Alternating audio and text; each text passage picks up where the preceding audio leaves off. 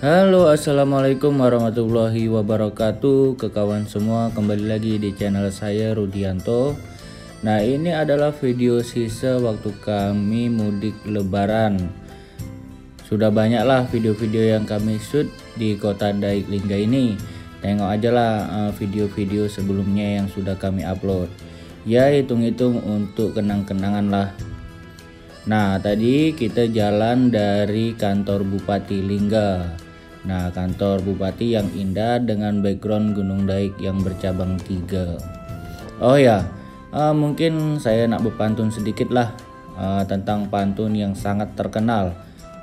Memanglah sangat terkenal uh, di kalangan bangsa Melayu, baik di Indonesia, Malaysia, Singapura, bahkan Brunei.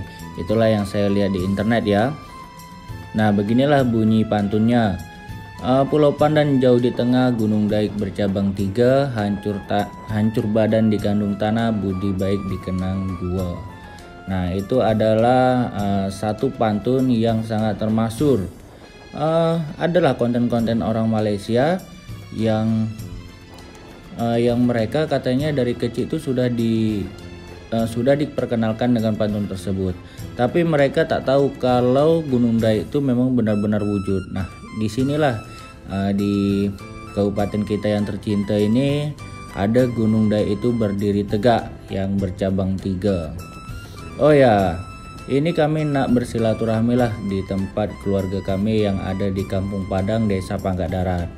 Nah tadi kita sudah uh, melewati apa ya simpang tiga. Uh, kalau tadi lurus kita ke Kampung Putus, nah kita kan belok kiri. Nah kita ke Kampung Pahang, nah ini kita sudah sampai di Sepincan. Uh, memang 10 tahun terakhir kota Dai ini berubah lah. Jalan-jalan sekarang tuh sudah mulus. Uh, mungkin hampir tak ada lah jalan yang berlobang yang becek-becek yang berbatu-batu uh, macam pas saya dulu sekolah di sini tak ada lah. Jembatan pun sudah dibuat bagus semua ya namanya juga ibu kota kabupaten ya harus bagus lah ya Nah cuma mungkin PR Bupati sekarang ya di pelosok-pelosok lah macam di kampung kami Desa Linau tuh jalan terus betul. Nah, habis itu ke mana lagi Tanjung Bungsu ke uh, Rantau Panjang itu kan jalan masih tanah. Nah tolonglah perhatiannya.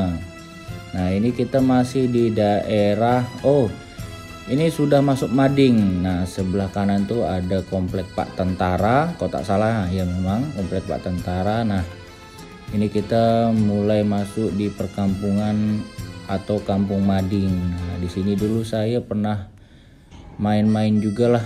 Nah, kalau sekolah kan saya pasti lewat kampung nih. Nah, yang saya suka dengan Daik Lingga ini, uh, suasana kotanya itu masih sangat asri apalagi kalau malam oh dingin betul lah. Uh, siang pun tak terlalu panas. Karena apa? Karena banyak pepohonan yang masih terjaga di sini. Oke kita sudah mulai memasuki agak hutan-hutan gitu. Nah kiri itu adalah rumah beberapa ya. Nah di sebelah depan sedikit tuh ada pemandian lah. Uh, sejenis taman bermain air lah ya Nah lupalah saya namanya. Nah uh, ke kawan semua lihatlah di Google Map. Nah sebelah kiri itu adalah rumah-rumah. Nah ini kita sudah mulai memasuki hutan uh, kiri kanan hutan. Nah itu pohon yang menjulang itu katanya sih pohon karet. Oke.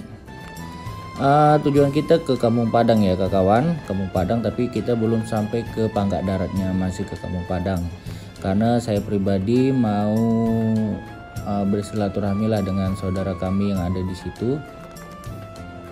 Nah mungkin ke kawan yang rindu akan suasana uh, dari kantor bupati tadi ke Kampung Pahang, Sepincang, Mading sampai Kampung Padang dapatlah tengok video ini.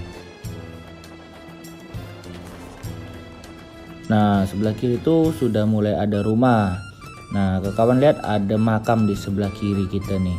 Nah itu lulus orang nyebut makam kuning nah itu pun agak macam mana lah kalau lewat sini malam-malam agak ngeri-ngeri sedikit lah tapi di kampung Padang ini sekarang sudah mulai ramai kawan nah, dulu ah di sinilah terakhir rumah waktu kami tinggal di sini tuh tahun 2006 lah Nah tapi sekarang sudah ramai rumah. Nah ini sebelah kiri ada musola uh, atau masjid lah ya di sini. Nah rumah kiri kanan tuh sudah beton semua. Masyarakat sini ya sudah sejahtera lah. Nah oke, okay. nah ini Kampung Padang. Uh, kita belok kanan. Nah karena di sinilah uh, rumah saudara kami berada.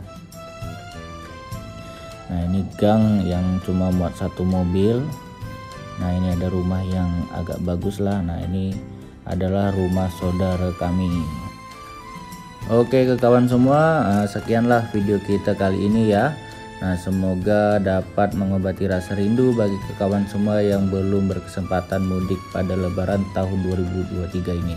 Assalamualaikum warahmatullahi wabarakatuh